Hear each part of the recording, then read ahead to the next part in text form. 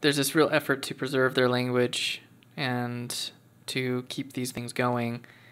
Uh, but it, it, it also seems like the pull to just kind of abandon it is still present in many of their day to day lives. Do you sense that that's going to increase as time goes on? Like, do you see that that's something that's happening, or is there more of an effort now, more than ever, to preserve language and to preserve their community dynamics? I think, I mean, just speaking of the, the region I've been working in, the combination of the the work we've been doing and other colleagues in the in the anthropology and linguistics community in Brazil and abroad that like on one side that has had a, a positive impact of people you know valuing more having this kind of consciousness building idea and also this kind of educational side of people going to this intercultural education and hearing from you know university professors there the ones that are training them, that also it's really important and having this intercultural education actually makes it to a degree like commodifies their culture a little mm-hmm. bit because like you're a school teacher from x uh, community you're expected to go to that village or go to the some educational event, or let's say a little conference or something. You're expected to go as a representative of your community. So then uh, you have pressure from your your relatives and either people from other indigenous communities to you know represent that community well, their language, their culture, their knowledge, their you know, stories, and those type of things.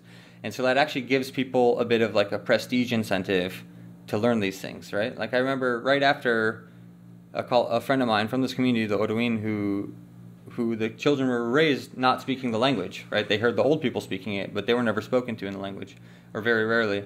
Uh, he said that he he he went there and he felt like uh, ridiculed. You know, mm-hmm. he was supposed to uh, say something in the language and didn't speak the language, so he didn't. You know, so he felt like almost his his other indigenous colleagues kind of thought less of him bef- because of that, right? Uh, and so he came to me one day and was like, "Hey, hey, Josh, you know, Josue, they call me. Uh, you know, I, I, felt I don't want I don't want to feel that way." He came up to me and was like, "You know, before I always saw it was like a really nice thing to to speak Portuguese well, blah blah. But then when I went to sing, I felt bad for not speaking my language, and I don't want to feel like that anymore. Like I want to." Hmm. I want to do what I can, and I was like, "Well, that's good. Good thing your mom is one of the last, you know, five or six people who really speak the language well." And so I kind of helped them yeah, work with his mom to kind of how to kind of investigate that part of uh, her knowledge, right? Yeah, I mean, I, I mean, I'm all for people obviously doing that and wanting to uh, speak their language that their ancestors spoke, right? Yeah. That their parents speak and so on. But it kind of turns into this token thing, right? It's like yeah. you become this token member of an indigenous community and and there's a lot of things projected onto that, you know, yeah. and that seems to be. So I guess to me to get back to something I was pointing to earlier, which is this idea that just by the very act of trying to play the game hmm. a little bit, there's all of these costs that come with that. Sure.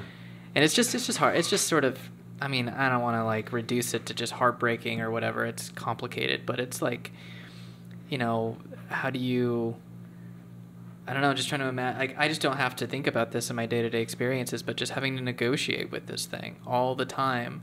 And it always seems like it always wants more from you.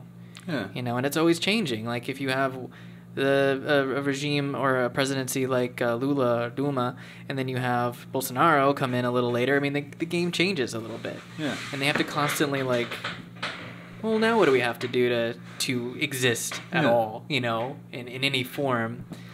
it's just it's kind of so i would think uh, like yeah. maybe a more accessible parallel to someone from your background would be like uh, you said there are a lot of like Mennonites and Hutterites and stuff in, in the northern Rocky Mountain West, right? Sure, yeah. Uh, so like imagine being in one of these communities, uh, but your grandma speaks the old language, right? She speaks uh, Plattdeutsch, she speaks lower lower Dutch or lower German because mm-hmm. she's you know from one of these communities. But you're a grandson and so maybe you heard your grandma speaking it, but she never spoke to you in that language. Right. Right. And you see that your life is good because you speak English to everybody. Like, what's your incentive to learn?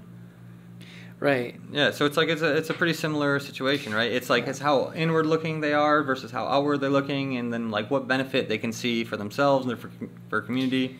Well, do you see something about the the complexity of identity? Right, because oh, they, they're like, yeah, I know it's a big thing, but we could just say this a little, talk a bit about this, which is like, if you identify as a member of this community, as this indigenous community, you speak this language, you are sure. of these people, you have these stories, whatever. Mhm. You know, you are this person, and then you do see the. Uh, maybe there isn't really any actual immediate or even long term benefit to preserving that culture, that identity. I mean, that's just got to be like. I mean, how do you, do people that you interact with in these communities do they have this Mm. question, you know, about what it means to be who they are, or Yeah, do they yeah. feel like, or is that not an issue that comes up for them? No, I think it is. I think it's something that they're constantly working on. They're something they're constantly they're constantly mediating, right, and and discussing. Yeah. So, I mean, I I think people look look at these things, and especially I think people value the language and the culture, and all these things. Just sometimes they have different priorities, you know. Sure. Um, yeah.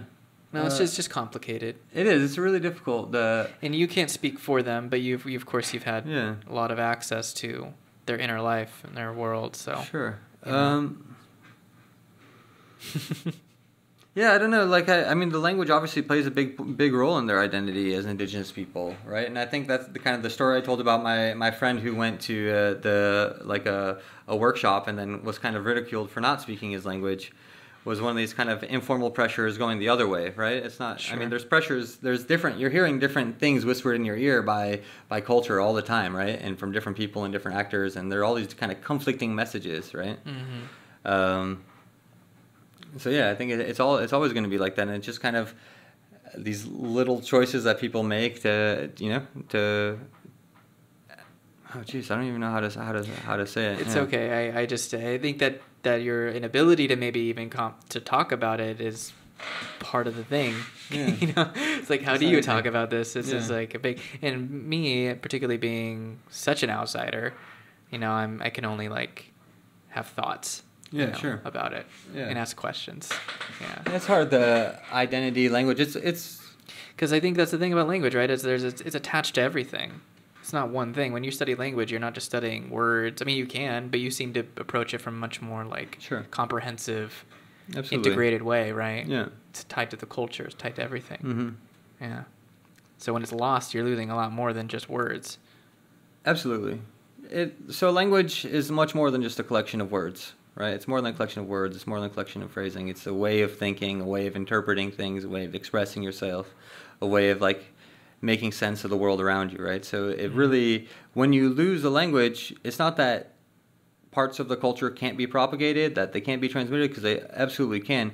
It's just that like a language is such a uh, a nice cognitive lens to see all these things through your stories, uh, your food, your relationships uh, within your community, outside your community. That when it's lost, you know, things, things, it definitely changes changes it, right? Yeah. Well, let me ask you what your I mean, this is your personal uh, opinion on this or thoughts on this, but what is lost?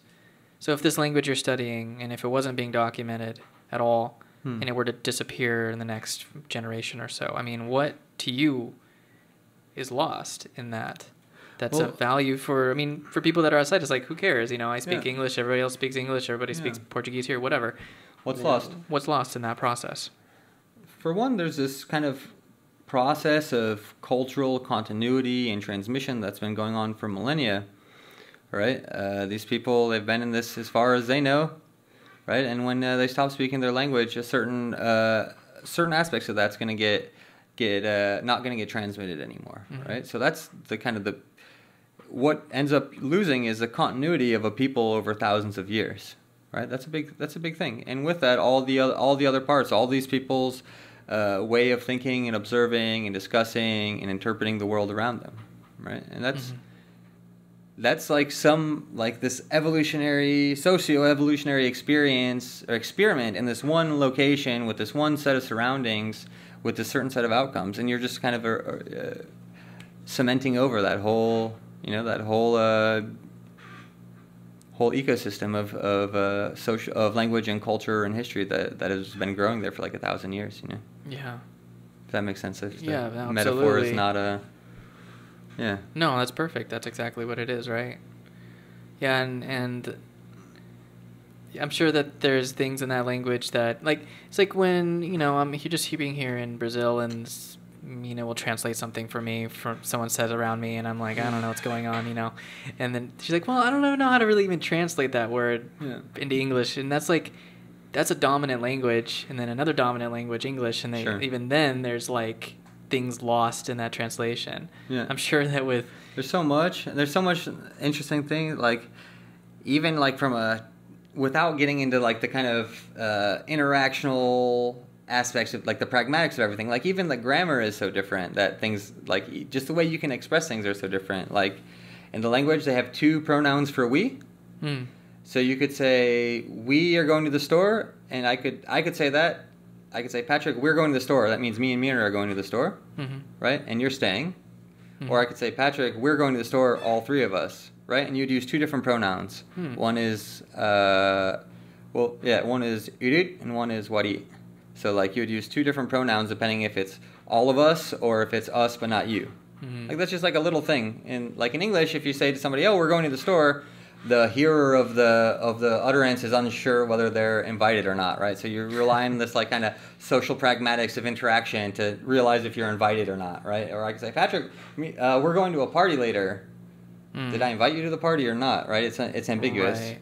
Whereas in this language, it's not ambiguous at all because there's two pronouns. It's as different as saying we and they Hmm. right? It's like who's included, who's not included.